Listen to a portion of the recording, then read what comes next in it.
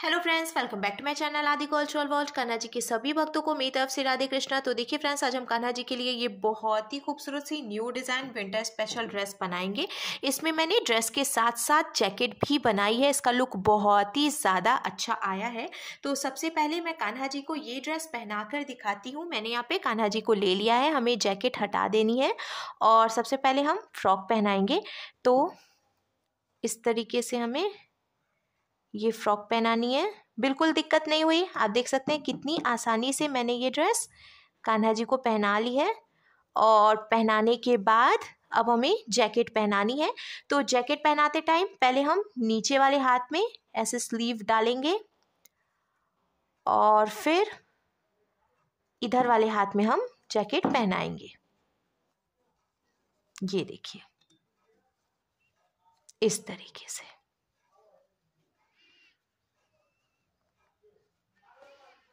Jacket के साथ ही साथ हमें कान्हा जी को कैप भी पहना देनी है। तो देखिए फ्रेंड्स मैंने कान्हा जी को ये सुंदर सी ड्रेस पहनाई है और आप देख सकते हैं हमारे कान्हा जी इस ड्रेस को पहनकर कितने अच्छे लग रहे हैं। इसका लुक बहुत अच्छा आया है और मैंने एकदम सिंपल तरीके से ये ड्रेस बनाना और कान्हा जी को पहनाना भी बताया है। तो प्लीज़ वीडियो को लास्ट तक देखिएगा जिससे कि आप भी आसानी से ये ड्रेस बनाकर कान्हा जी को पहना सकेंगे। अगर आप ड्रेस से रिलेटेड या फिर वीडियो से रिलेटेड कोई नॉलेज चाहते हैं या फिर कोई क्वेश्चन पूछना चाहते हैं तो मुझे मेरे इंस्टाग्राम पर पूछ सकते हैं। मेरा इंस्टाग्राम हैंडल है Aadi cultural world two six eight साथ ही साथ मुझे फॉलो भी करें तो चलिए फ्रेंड्स अब हम ये बहुत ही खूबसूरत सी कान्हा जी की new design winter special dress बनाना शुरू करते हैं। इसके पहले अगर आपने अब तक मेरे चैनल को सब्सक्राइब नहीं किया है तो प्लीज़ मेरे चैनल को सब्सक्राइब करिए, साथ ही साथ बेलाइकन भी प्रेस करिए, जिससे मेरे आने वाली वीडियोज़ की नोटिफिकेशन आपको सबसे पहले मिले। ड्रेस बनाने के लिए मैंने देखिए ये पिंक कलर का ऊन ले लिया है और साथ ही साथ मैंने ये दस नंबर की क्रोशिया ली है। तो आप दस और ग्यारह में से कोई भी क्रोशिया यूज़ कर सकते हैं। मोटा वाला ऊन था, इसीलिए मैंने सिंगल रखा है। अगर आप बहुत पतला ऊन ले रहे हैं तो डबल करके यूज़ कर सकते हैं। अब देखिए मैंने यहाँ पे एक लूप बना लिया है। लूप के अंदर हम क्रोशिया डालेंगे, फिर क्रोशिया में उनको लेकर लूप में से निकाल लेंगे और खींच इसको टाइट करेंगे। अब हमें क्रोशिया में उनको लेकर लूप में से निकालना है। एक चेन बन गई, फिर से क्रोशिया में उनको लेकर लूप में से निकालेंगे तो ये दूसरी चेन बन गई। इसी तरीके से हमें टोटल छब्बीस यानी कि ट्वेंटी सिक्स चेन्स बना के कंप्लीट कर लेनी है। मैंने टोटल 26 चेन्स बना के कंप्लीट कर लिया। अब हम सिंगल क्रोशिया बनाएँगे तो हमें एक चेन छोड़ देना है और उसके बाद दूसरी चेन में हम क्रोशिया डालेंगे। फिर क्रोशिया में उनको फंसा कर निकालेंगे दो फंदे हुए तो क्रोशिया में उनको लेकर इन दोनों फंदों से निकाल लेंगे। ये सिंगल क्रोशिया बन गई, फिर इसके बाद वाली चेन में भी क्रोशिया डालकर उनको फंसा कर निकालेंगे दो फंदे हुए। क्रोशा में उनको लेकर दो फंदों से निकाल लेंगे। इसी तरीके से हमें हर एक चेन में से एक एक बार सिंगल क्रोशिया बनाते हुए पूरी लाइन कंप्लीट करनी है। इस बात का हम ध्यान रखेंगे। हमने ये जो चेन बनाई है, वो देखिए एकदम ढीली ढीली बनाई है, क्योंकि अगर बहुत ज़्यादा टाइट चेन होती है तो पहली लाइन बीनने में थोड़ी सी प्रॉब्लम आती है। तो इस बात का ध्यान रखें कि ये जो आपको चेन बनानी है, वो एकदम ढीली ढीली बनानी है। सिंगल क्रोशिया बनाते हुए मैंने ये पूरी लाइन बीन के कंप्लीट कर ली है। अब एक बात और मैं आपको बता दूँ, मैंने टोटल छब्बीस चेन बनाई थी तो जब हमने शुरू में एक चेन छोड़कर दूसरी चेन में से सिंगल क्रोशिया बनाना शुरू किया तो एक चेन घट गई है। यानी कि अब हमारे पास टोटल 25 यानी 25 चेन्स हो गई हैं। अब हम इसको पलट लेंगे। पलट कर हमें दो चेन बनानी है। देखिए, ये एक और ये दो। अब हमें क्रोशिया में उनको लेना है और जहाँ से हमने दो चेन बनाई, उसी चेन में क्रोशिया डालकर और ऊन को फंसाकर निकाल लेंगे तीन फंदे हुए तो क्रोशिया में उनको लेकर दो फंदों से निकालेंगे, दो फंदे बचे तो क्रोशिया में उनको लेकर बचे हुए दो फंदों से निकालेंगे। तो ये डबल क्रोशिया बन गई। अब हमें फिर से क्रोशिया में उनको लेना है और उसके बाद वाली चेन में क्रोशिया डालकर उनको फंसाकर निकाल लेना है। तीन फंदे हुए, क्रोशिया में उनको लेकर दो फंदों से निकालेंगे, दो फंदे बचे तो क्रोशिया में उनको लेकर बचे हुए दो फंदों से निकालेंगे। तो ये फिर से डबल क्रोशिया बन गई, फिर हम क्रोशिया में उनको लेंगे और इसी चेन में डालेंगे जहाँ से हमने पहले डबल क्रोशिया बनाई थी और एक डबल क्रोशिया और बना लेंगे। तो इस तरीके से हमने देखिए एक ही चेन से दो दो डबल क्रोशिया बनाई है। ऐसे ही हम हर एक चेन में से दो दो डबल क्रोशिया बनाते हुए ये पूरी लाइन बीन के कंप्लीट कर लेंगे। हर एक चेन में से दो दो डबल क्रोशिया बनाते हुए मैंने देखिए ये पूरी लाइन बीन के कंप्लीट कर ली है तो हमारे पास टोटल पच्चीस चेन थी और हमने हर एक चेन में से दो दो डबल क्रोशिया बनाई तो अब हमारे पास टोटल पचास यानी कि फिफ्टी चेन्स हो गई हैं। अब हम कान्हा जी के लिए स्लीव बनाएँगे तो हमें ऐसे पलटना है, एक, दो दो चेन हम बनाएँगे फिर हम इसके आगे की सात चेन में से एक एक बार डबल क्रोशिया बनाएँगे। तो हमने जो दो चेन बनाई थी, उसको भी हम एक डबल क्रोशिया ही मानेंगे। फिर उसके आगे की सात चेन में से जब हम एक एक डबल क्रोशिया बनाएँगे तो टोटल आठ डबल क्रोशिया हो जाएँगी। तो देखिए फ्रेंड्स मैंने दो चेन बनाई थी, उसको लेकर एक, दो, तीन, चार, पाँच छः सात और ये आठ। टोटल आठ डबल क्रोशिया मैंने किनारे पे बना ली है। अब हमें ग्यारह चेन काउंट करके छोड़नी है कान्हा जी की स्लीव बनाने के लिए। तो one two three four five six seven eight nine ten eleven ग्यारह चेन हमने छोड़ दी और ये जो ट्वेल्थ यानी कि बारहवीं चेन है, इसमें से हम फिर से डबल क्रोशिया बना लेंगे। तो देखिए, कान्हा जी की स्लीव बनकर तैयार हो गई है। अब हमने ये जो एक डबल क्रोशिया बनाई, इसके आगे की ग्यारह चेन में से फिर से हम एक एक डबल क्रोशिया बनाएँगे। तो टोटल बारह डबल क्रोशिया हो जाएँगी, क्योंकि एक डबल क्रोशिया हमने पहले से बनाई थी, फिर ग्यारह और बना रहे हैं। तो सेंटर में टोटल बारह डबल क्रोशिया होगी। मैं थोड़ी सी ज़्यादा चौड़ाई रख रही हूँ, जिससे कि कान्हा जी का जो चेस्ट है, वो अच्छे से ढका रहे, उन्हें बिल्कुल भी ठंड ना लगे। लगे तो देखिए फ्रेंड्स मैंने सेंटर में भी टोटल 12 डबल क्रोशिया बना के कंप्लीट कर लिया अब हमें फिर से 11 चेन छोड़नी है। One two three four five six seven eight nine ten eleven यानी कि ये 11 चेन छोड़कर जो बारहवीं चेन है। इसमें से हमें डबल क्रोशिया बना लेनी है, जिससे कि कान्हा जी की दूसरी स्लीव भी बनकर तैयार हो जाएगी। तो यहाँ पे देखिए, कान्हा जी की दूसरी स्लीव भी बन गई है। अब ये एक डबल क्रोशिया हमने बनाई है। इसके आगे सात चेन और बची हैं।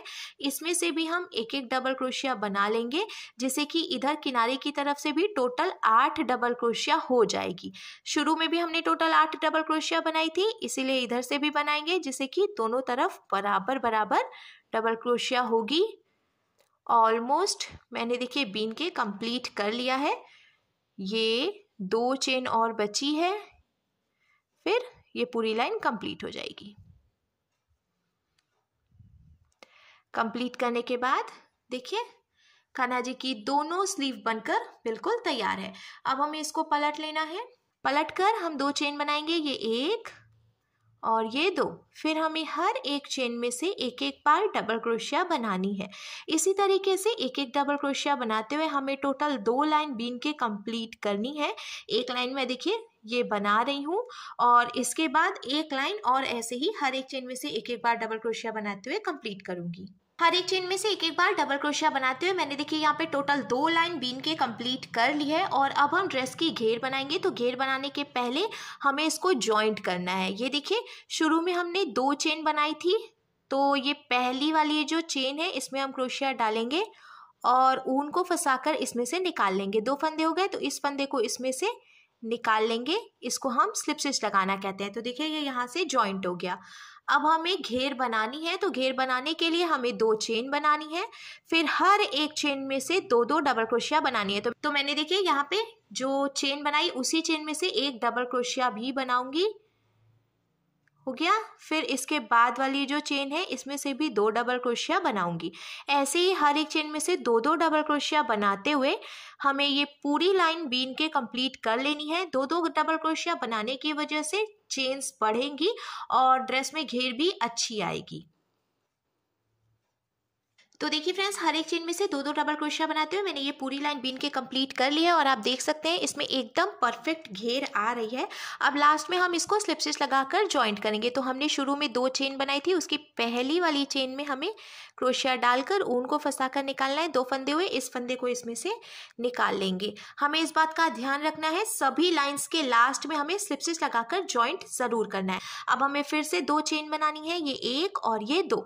फिर हमें इसके बाद वाली चेन में से एक बार डबल क्रोशिया बनानी है। फिर इसके बाद वाली चेन में से भी एक बार डबल क्रोशिया बनानी है। ऐसे ही हम चार चेन में से एक एक बार डबल क्रोशिया बनाएँगे, क्योंकि शुरू में हमने जो दो चेन बनाई थी, उसको भी हम एक डबल क्रोशिया ही मानेंगे। फिर उसके आगे की चार चेन में से हमने एक एक बार डबल क्रोशिया बनाई तो अब टोटल पाँच डबल क्रोशिया हो गई है। छठवीं चेन में से हमें दो डबल क्रोशिया बनानी है, ये एक और इसी में से ये दो। फिर इसके आगे की पाँच चेन में से हम एक एक बार डबल क्रोशिया बनाएँगे और छठवीं चेन में से दो बार डबल क्रोशिया बनाएँगे। देखिए, ये दो, ये तीन, ये चार और ये पाँच। अब छठवीं चेन में से हम फिर से दो डबल क्रोशिया बनाएँगे। इसी तरीके से बीनते हुए हमें ये पूरी लाइन कंप्लीट करनी है और लास्ट में हम स्लिप स्टिच लगाकर ज्वाइंट करेंगे। फिर आगे भी हमें ऐसे ही बीनते जाना है, यानी कि पाँच चेन में एक एक बार और छठवीं चेन में दो बार डबल क्रोशिया बनाते हुए हम ये पूरी लाइन कंप्लीट करेंगे और आगे भी चार से पाँच लाइन ऐसे ही बीन लेंगे। हमें इस बात का ध्यान रखना है, सभी लाइंस के लास्ट में हम स्लिप स्टिच लगाकर ज्वाइंट ज़रूर करेंगे। तो देखिए फ्रेंड्स मैंने एक लाइन हर एक चेन में से दो दो डबल क्रोशिया बनाते हुए आपको दिखाई थी। उसके बाद मैंने पाँच चेन में एक बार और छठवीं चेन में दो बार डबल क्रोशिया बनाते हुए टोटल एक, दो, तीन, चार लाइन और बना ली है। तो अब घेर बनकर बिल्कुल तैयार है। मुझे इतनी ही चौड़ाई रखनी है घेर की। अगर आप चौड़ाई और बढ़ाना चाहते हैं तो इसी तरीके से और लाइन्स भी बीन सकते हैं। लास्ट में अब हम फिर से इसको स्लिप स्टिच लगाकर ज्वाइंट करेंगे और ये जो पिंक कलर का ऊन है, इसको लॉक करके यहीं पे कट कर लेंगे। तो स्लिप स्टिच लगा लिया हमने, अब एक चेन बनाएँगे और इसको ढीला करेंगे। ढीला करने के बाद यहाँ से जो एक्स्ट्रा ऊन है, इसको कट कर लेंगे। कट करने के बाद देखिए, अब ड्रेस की घेर बनकर बिल्कुल तैयार है। मैंने एक, दो, तीन, चार, पाँच लाइन टोटल बनाई है। तो मैंने यहाँ पे देखिए, ये येलो कलर का ऊन ले लिया है और जहाँ से हमने इसको लॉक किया था, उसी चेन में हम फिर से क्रोशिया डालेंगे और क्रोशिया डालकर ये जो येलो वाला ऊन है, इसको हम फंसा कर इसमें से निकाल लेंगे। फिर हमें नॉट लगाकर इसको यहीं पे बाँध लेना है। दो नॉट मैं लगाऊँगी। सबसे आसान तरीका है ये ऊन जॉइंट करने का।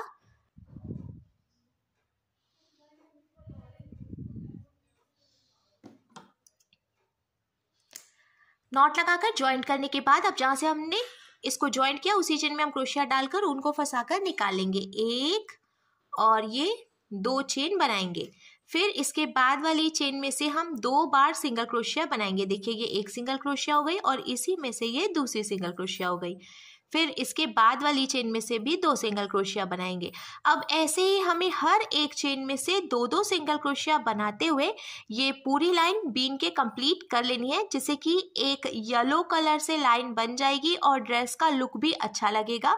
क्योंकि हम जो कान्हा जी की जैकेट बनाएँगे, वो भी येलो कलर के ऊन से ही बनाएँगे। तो नीचे की तरफ़ से एक लाइन येलो कलर से होना ज़रूरी है। हर एक चेन में से दो दो सिंगल क्रोशिया बनाते हुए मैंने देखिए ये पूरी लाइन बीन के कंप्लीट कर लिया और आप देख सकते हैं इसका लुक कितना ज़्यादा खूबसूरत लग रहा है। अब लास्ट में हम इसको भी स्लिप स्टिच लगाकर जॉइंट करेंगे, जैसा कि मैंने आपको पहले भी बताया था। तो स्लिप स्टिच लगाने के बाद फिर हम इसको लॉक करके एक्स्ट्रा ऊन कट कर लेंगे।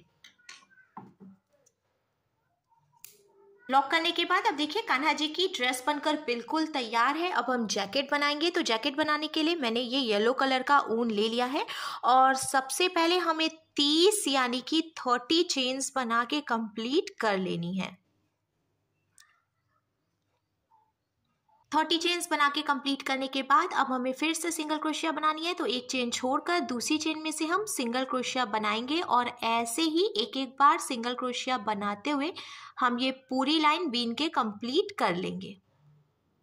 एक एक बार सिंगल क्रोशिया बनाते हुए मैंने पूरी लाइन बीन के कंप्लीट कर ली है और जैसा कि मैंने आपको पहले भी बताया था कि जब हम एक चेन छोड़कर सिंगल क्रोशिया बनाते हैं तो एक चेन घट जाती है। तो अब हमारे पास टोटल ट्वेंटी नाइन यानी कि उनतीस चेन बची है। हम इसको फिर से पलट लेंगे, दो चेन बनाएँगे और हर एक चेन में से दो दो डबल क्रोशिया बनाते हुए ये पूरी लाइन बीन के कंप्लीट कर लेंगे।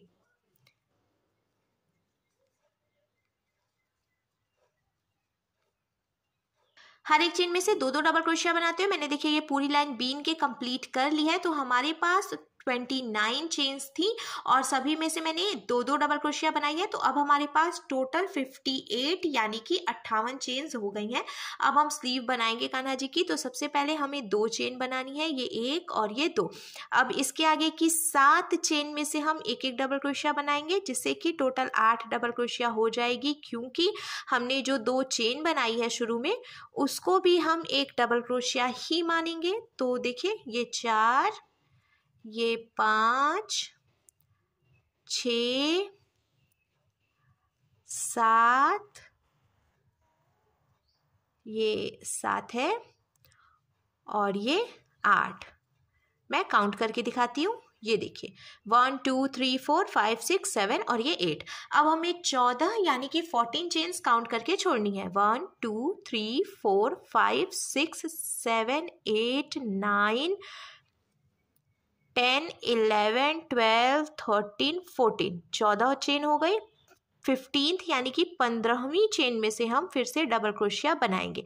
हम थोड़ी बड़ी स्लीव बना रहे हैं, क्योंकि हमें पहले से फ्रॉक जो है, उसके ऊपर से जैकेट पहनानी है तो इसीलिए इसकी स्लीव थोड़ी बड़ी होनी चाहिए। हमने देखिए यहाँ पे चौदह चेन छोड़कर पंद्रहवीं चेन में से डबल क्रोशिया बना लिया अब यहाँ पे एक डबल क्रोशिया बनी है।